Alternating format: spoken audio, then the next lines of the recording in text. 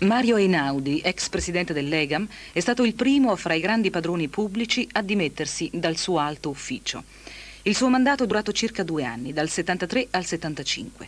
Doveva rimettere in piedi un ente minerario di Stato. Ne ha fatto un feudo personale, acquistando navi, immobili, giornali. Era convinto di aver fatto dei buoni affari dopo aver seguito una linea di sviluppo aziendale che aveva portato Legam ad essere il primo operatore nazionale nei settori meccanotessile, metallurgico, minerario.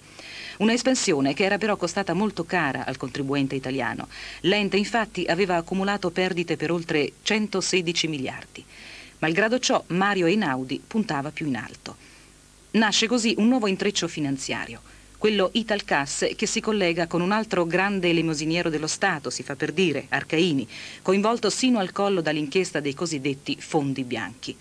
In breve, il 24 maggio del 1975 Francesco Tomellini Fassio e Alberto Fassio cedevano alla Vetrococ Cocapuana del gruppo Egam il 33% del pacchetto azionario della società Villain Fassio. C'era in ballo appunto l'acquisto di navi, di immobili e anche di giornali come il Corriere Mercantile e il Giornale del Lunedì.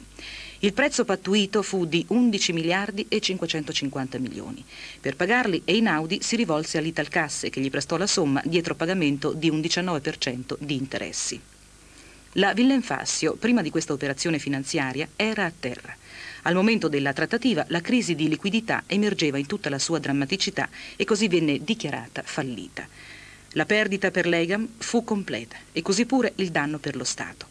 I misfatti di una persona divennero una passività della collettività. Il Parlamento ne prese atto e il governo, dopo una dura battaglia con l'interessato, decise la rimozione dall'incarico di Mario Einaudi. Questi si disse subito vittima di congiure politiche e sostenne di aver operato con l'avallo del Ministero delle Partecipazioni Statali, ma il ministro del tempo, Antonio Bisaglia, fu di avviso contrario. Non soltanto i politici, anche la Procura della Corte dei Conti volle vederci chiaro e vennero fuori le prove dell'illecito amministrativo e della colpevolezza dell'ex presidente dell'Egam. Per la Corte non fu errore professionale, ma dolo. Tutta l'operazione venne definita avventurosa, illegittima, macroscopicamente avventata e realizzata al di fuori del margine della discrezionalità tecnica e operativa connessa ai poteri attribuiti al presidente dell'Egam. La Corte dei Conti chiese la restituzione personale dell'intera somma dell'affare Villenfassio, 11 miliardi e 550 milioni, un vero record. La massima pena pecuniaria inflitta dalla Corte agli amministratori avventurosi è stata di un miliardo.